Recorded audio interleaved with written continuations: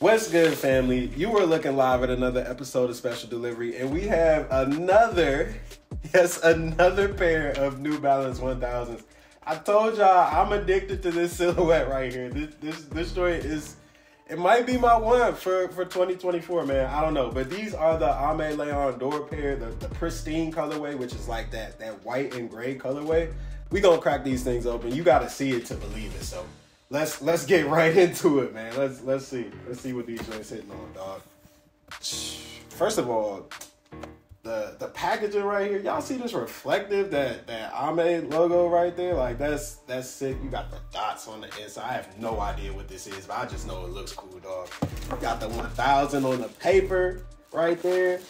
And then you got these joints right here, man. Come on, bro.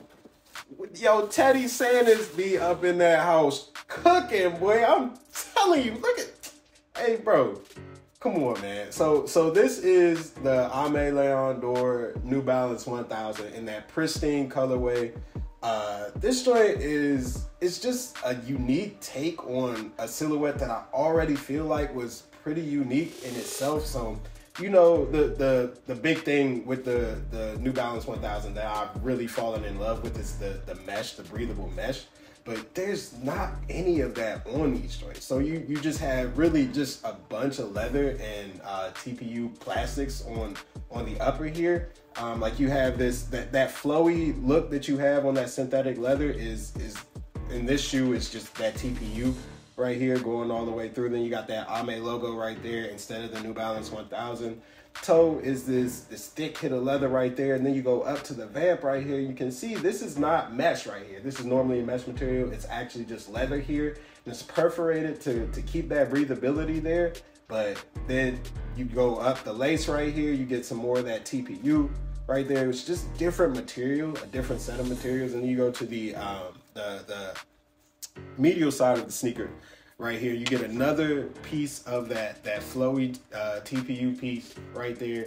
And it just it it gives the shoe a bit of an an elevated look i would say um, as opposed to the gr model that that we we've seen previously. Like it's just it's just different. And you got that same material right here on that New Balance and on both sides of the uh, the sneaker. Got that Aimé logo right there on the tongue. This tongue is also pretty thick right here. You get get a little bit of padding, a little bit of cushioning.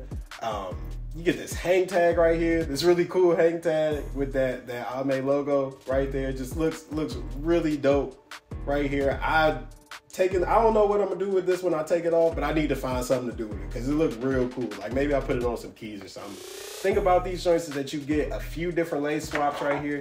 I'm gonna keep this reflective joint in right here, this uh this white, and it's got this like little gray, these little gray 3M hits in it that that just make it pop out a little bit more to me.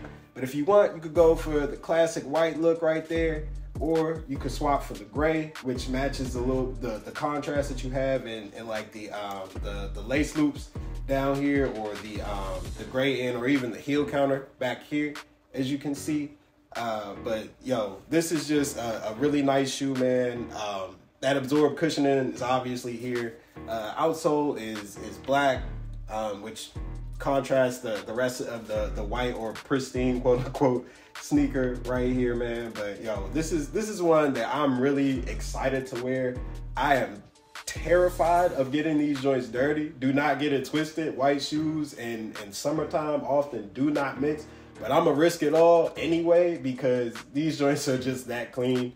Uh, they retail for $180, which is generally a little bit over that um that that 160 price point that we see with the uh the the New Balance 1000 but let me tell you with the elevated materials in this joint it is definitely worth it in my opinion um aftermarket because these joints have obviously sold out along with the uh the gray and the the black colorway in these joints so you, you're gonna have to go to the aftermarket for these.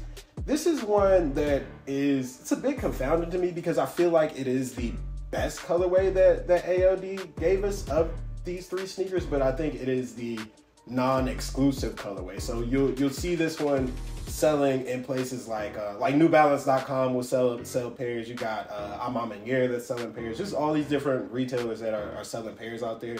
So you'll be able to get them Um, but on the aftermarket, it, they, they retail for or, or, they sell, I should say, for around it's it's somewhere between like two fifty and three hundred dollars, which is uh, quite a bit over what that retail price is. You know, if you really feel like you you need these joints, then then that's definitely the move for you. I don't think the price is like too crazy or anything to to dissuade somebody who feels like they really need these joints. But man, this is just a really nice sneaker from Teddy Santis and company. They did a really good job of uh, putting these joints together, giving it that that elevated look with elevated materials and making them look a little bit different from the New Balance 1000s that we've seen um, so far. So I'm just really excited for for this silhouette and what's to come, man. But anyway, that's a wrap for this episode of Special Delivery. I'm your boy Sykes, and this is that ALD 1000 that pristine colorway.